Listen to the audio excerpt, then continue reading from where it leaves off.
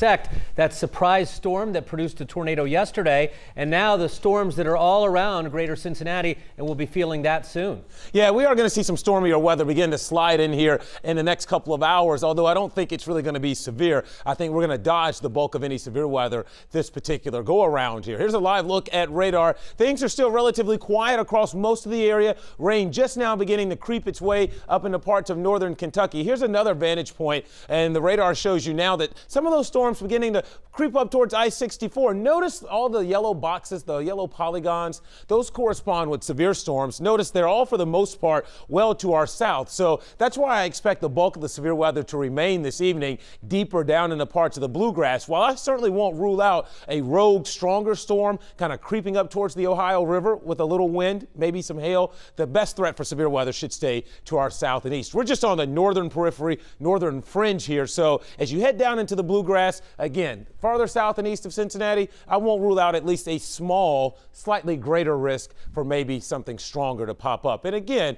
any threats from storms this evening to our south will generally come from the potential for some strong winds and maybe a little bit of hail. There will be thunder and lightning, I think, for most of us later on this evening. So here's a look at your evening forecast. Bring along an umbrella, you'll need it. You still got a few more hours here in the metro and areas north of the Ohio River to actually enjoy a relatively nice start to the evening. But after about 7 o'clock south of the Ohio River, rain will be moving in with maybe a little thunder and lightning. Here's another look from high atop Mount Auburn. As we look to our south, you can kind of see some of the darker skies there. 67 right now is where we're currently sitting at the airport. We've got this little storm system tonight that's kind of spinning its way through the Ohio Valley. It's going to slide over towards maybe towards West Virginia by morning. The bulk of the severe weather is where they had a little more heat and humidity today down across parts of Kentucky and Tennessee. But this will come through overnight with a round of showers and storms. Here we are at 8 o'clock. You can see a lot of that approaching the Ohio River. So between, let's say, now and 8, 8. If you're in the metro and points north, you're probably going to enjoy some pretty dry weather and comfortable conditions.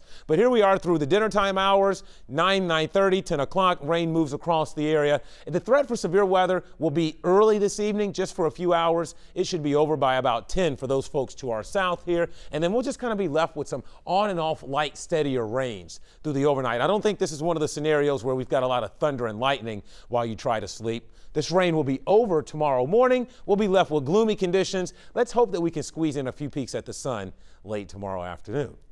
So we've got storms and downpours moving in here this evening. We'll only drop to 57 tonight as it should remain quite mild. And then for tomorrow, kind of an ugly, gloomy start to the day. I do think the rain will be over though by morning. 63 for an afternoon high. Keep your fingers crossed for a little late day sun. Here's a look at your day planner. 55 to start in the morning, 59 by lunchtime, and then we'll creep our way with a few peeks at the sun into the low 60s. Here's a look at your seven day forecast. A little bit cooler tomorrow night as we drop down to 41. We get a break in here on Wednesday. Wednesday looks like a nice day with temperatures around 60. And then another one of those storm systems, very similar to what we're dealing with today, will come cruising through the area Thursday into Friday. This could bring us another round of stormy weather. I'll keep a close eye on that. But then we'll squeeze in a nice weekend in between a second area of rain. And look what's popped up on the end of the seven day there. What's that? Opening day next Monday, right?